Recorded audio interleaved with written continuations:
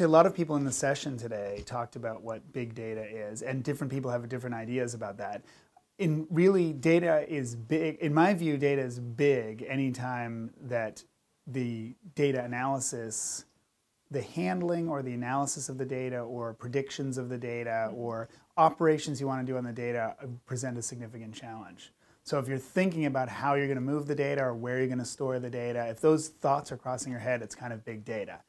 Um, because you know, in in traditional, if you do, do if you go to this way astronomy looked when I was a graduate student, um, there were no data sets that were really big in the sense that every data set, every graduate student, their data sat in you know a disk or a tape on their desk. They didn't have to think about what they were going to do about it. And then with the Sloan Digital Sky Survey, which I was involved in, uh, data started to really get big. We had to really think about where's the data going to live, where our copy is going to be, and each institution that had a copy had to think hard about how it was going to lay that copy out, and and that I think that's when it became big data in a certain sense.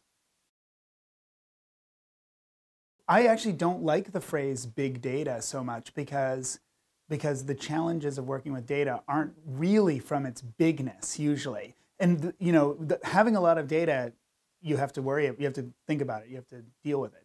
But, um, but really what makes data analysis challenging is that the signals that we care about in astronomy are not like just visible in the data. You have to, you have to build models of the things you're seeing, you have to understand the sources of noise, you have to understand the ways in which the devices we use don't faithfully reproduce the intensity field coming into the telescope. We have to think about the data is always connected to the things we care about in a very uh, indirect way. And so really the challenges I, I would say are not from the bigness of the data. It's from the fact that the data is a, it's like a noisy hash of the things that we care about. I mean, one of the things I think that makes working with any kind of data, whether it's astronomy data or, or in any field, uh, one of the things that makes this complicated is the data are always very heterogeneous. You, you observe different things about different objects, and uh, and those different things can be very qualitatively different. You might have a spectrum in the optical of something, you might have imaging in the radio of an object, and then there might be another object where you don't have the radio, but you have an X-ray image. And when you have different data about different, different kinds of data about different things, you have to sort of make a bespoke data analysis for every object. And that's when it starts again become very challenging and you sort of end up thinking about the data as being big again. But it's not really big because it's large, it's big because it's complex and heterogeneous.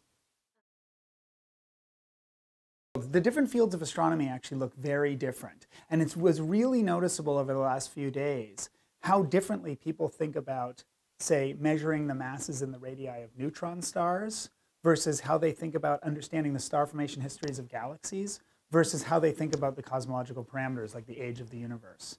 So in the case of the cosmological parameters, you know, we know the age of the universe now to 1%, which is pretty remarkable uh, given the state it was when I, was, uh, when I started in the field.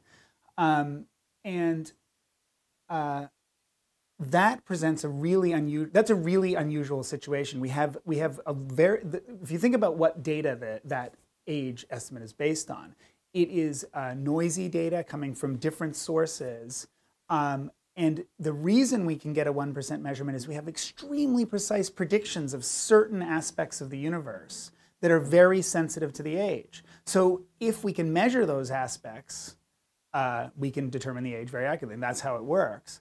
Um, but in order to measure those aspects, we have to understand the noise in our data really well, and we have to understand what we're observing really well.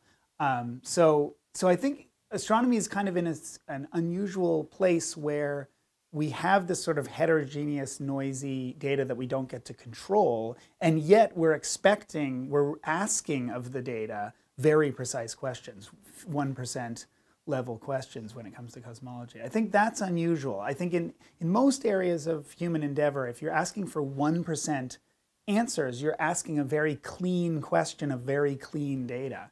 And we, we don't get the clean data, but we are expecting the good answer. So I think we're unusual in that respect. This is something that is new in astronomy, this kind of paradigm of dealing with this kind of amount of heterogeneous data? Do you think this is something that's specific to now? I think the so yes, in the sense that as I was saying when I was a, when I was a graduate student, there were no data sets at this sort of magnitude, or at least not ones that I encountered. I guess there were in radio astronomy, but there were not. Uh, the, the, people certainly were not staggering under the load of their data in the way they are now. So I think a lot has changed in terms of how the data looms in our head as being part of the technical challenge of a project. Um, uh, I think the other thing that's changed over the last few years is exactly this point about the precision of the cosmological parameters. I think the the uh, you know when I when I started working in cosmology, there were we didn't know the age of the universe to a factor of two, and so we could ask we could ask these questions about the universe sort of much more roughly. We only needed you only needed a rough prediction and you only needed pretty good data. Now we expect because we're expecting one percent answers uh, our demands are just really high.